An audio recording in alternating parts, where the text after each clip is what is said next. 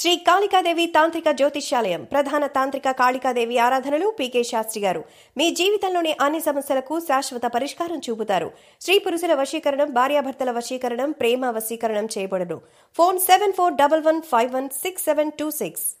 Gopichand. Tollywood handsome hero Gopichand. ప్రభాస్తో కలిసి చేసిన వర్షం సినిమా ఎంత మంచి హిట్ అయిందో వాళ్ళిద్దరి ఫ్రెండ్షిప్ కూడా అంతే రేంజ్లో హిట్ అయింది.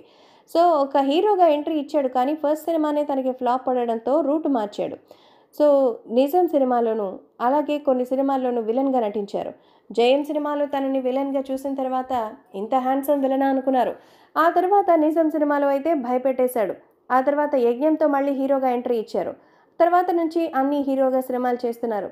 మరి ఎంతో అద్భుతంగా ఫైట్స్ చేస్తారు డాన్స్ చేస్తాడు మంచి లుక్ కూడా ఉంటుంది. మరి అలాంటి హీరోకి అవకాశాలు ఎందుకు రావటం లేదు? ఎందుకు సినిమాలు హిట్ అవ్వడం లేదు? సినిమాలు అయితే చేస్తున్నారు కానీ హిట్ పర్సంటేజ్ చాలా తక్కువ. అయితే గోపీచంద్కి ఇండస్ట్రీలో ఒక హీరోతో మరి సినిమా చేయాలని తెగ ఆరాటంగా ఉందట. ఆయన ఎవరో కాదు యంగ్ టైగర్ ఎన్టీఆర్. ఇటీవల పక్కా కమర్షియల్ అన్నటువంటి సినిమాతో మన ముందుకి రాశి ఖన్నాతో పాటు రాబోతున్నాడు మన హీరో గోపీచంద్.